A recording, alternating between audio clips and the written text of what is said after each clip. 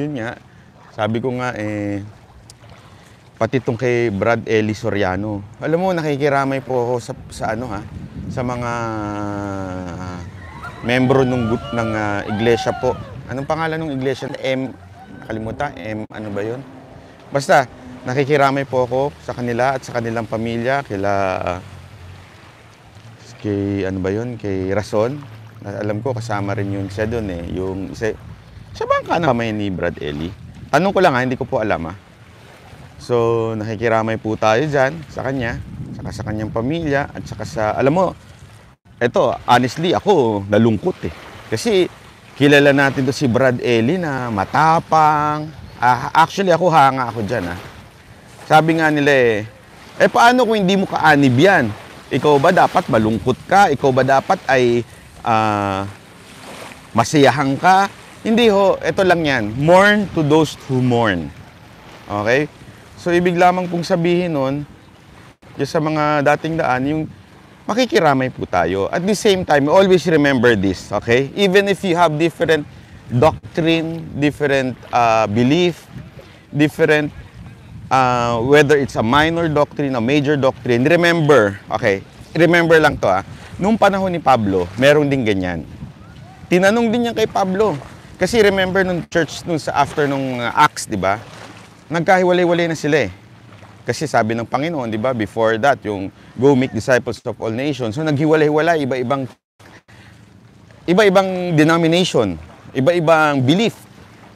Tapos ang isang ang parang pinakahuling ah, parang masasabi natin na convert o doon sa Bible ay si Paul. Huli na yan eh. Hindi ho kasama sa 12 disciples eh, si Paul. Tapos ang sabi pa nga doon, eh di ba? Ang sabi doon, ah, it doesn't matter kung ano yung motive, kung as long the gospel is preached. Okay? It doesn't, ano na eh, kung ano na yung, yung mga minor doctrine na pinagkaiba-iba, as long the Lord Jesus Christ is preached, eh, ikasaya na natin yun. Okay? Anyway, ay sa akin ha, yun naman, I cannot judge. Who can judge sino ba yung tama, sino ba yung mapupunta sa langit, sino ba yung ganito. Huwag na ho tayo maganon-ganon. Kasi only the Lord would know. Only God would know the hearts of the people. Okay? Whether I'm not saying universal religion. ah. I'm not saying that. What I'm saying is relationship is personal. Whatever you believe, it's a personal thing between you and your God. And no one should should judge you. Ako tama, ikaw mali. Walang ganunan. Okay? Yun din na sinabi ng ni Pablo, dapat eh ikasaya mo na lang. 'Di ba nung nakulong si Pablo? Yan yung huling pinag-usapan natin noon eh, 'di ba? Na ikasaya mo na lang kung at least ang gospel na, na kumakalat kung anuman ang dahilan, 'di ba? Wag na ho natin yung iba-iba mga oh, kayo na pong bahala doon, okay? Sa akin, kanya-kanya po kayong ano, kung anong belief ninyo, I would respect, I would love you, and I would respect that kind of belief. It's up to you. It's up, actually, it's up to God. Honestly, it's up to God who would judge you whether you're right or you're wrong. It's not me for, for me to judge, okay?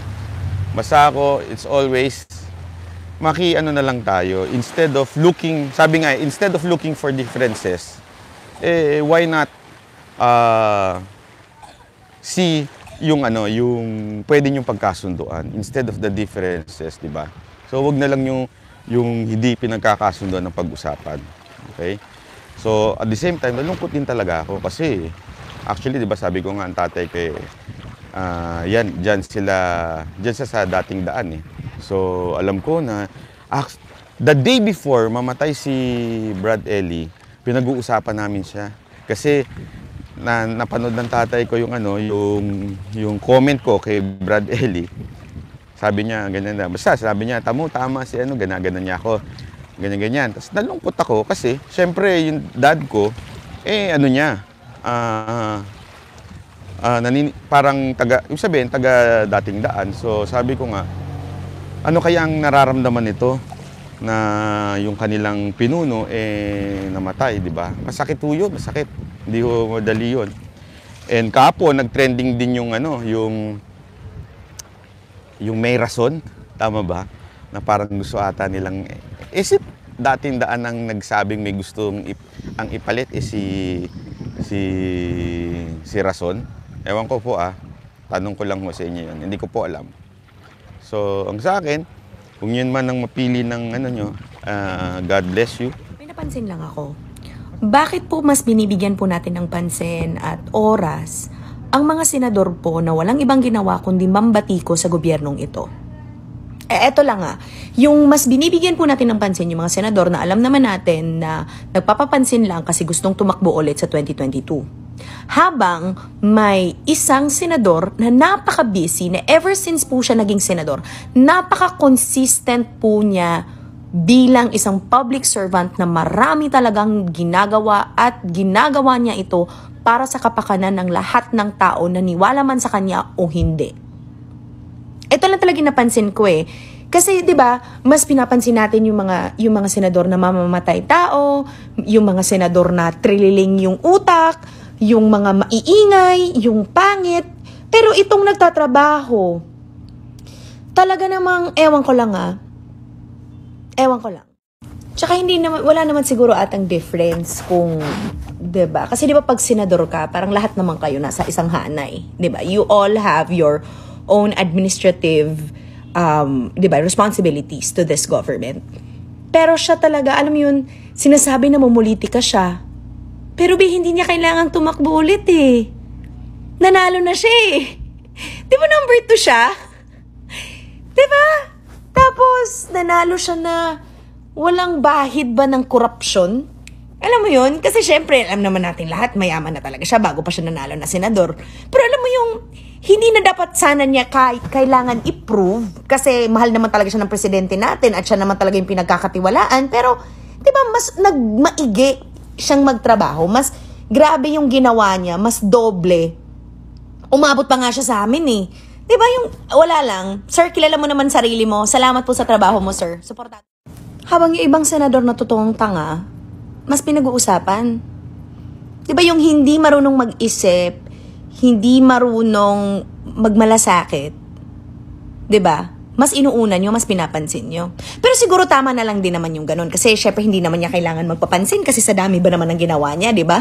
Kung hindi ka man ba ma mahiya. Mm-mm. Pero ito lang, na-appreciate ko lang ba na dinala siya kasi he is trusted by the president. At saka instead na, alam mo instead na gumawa ng kabulastugan like all of the other po- politicians and public servants from past administrations, yun yung ginagawa eh. Pag voted into office, ayun na, nagiging corrupt, nanggagago na, ayan, nagiging maingay na. Yun yung nang mga nag-iingay sa administrasyon na to. Kasi syempre, sanay sila sa mga dati na wala silang ginagawa pero pogi kuno sila. Eh ngayon kasi, saludo ako sa senador na to eh. Galing ko lang. Ganun kasi dapat yan, be. Ha? Take notes sa mga tatakbo po sa 2022. 'Di ba? Huwag kayo magpapogi a year before. Ito naman oh. Magpapapogi kayo a year before. Gagamitin nyo pa ibang tao na mas nagtatrabaho kaysa sa inyo. Nagbumukha kayong tanga. Magpapogi kayo habang hindi pa po kayo nasa posisyon. At mas magpapogi kayo ng doble, quadruple. Pag nasa posisyon na kayo, maging busy kayo. Maging busy kayo sa tama. Sa, okay? Ha? Kasi yan na dapat yung hanapin natin sa 2022. Hindi yung makikita mo once, mag-iingay na all throughout their time as a senator. But then paghahanapan mo na ng public service projects, walang naitulong para sa mahihirap. Walang naitutulong para maiangat ang buhay ng Luzon, Visayas at Mindanao. Ay, wag niyong hanapin ang ambagyang senador na yan, mapahiya kayo. Isasampal ba sa inyo? O ipapakain ng resibo?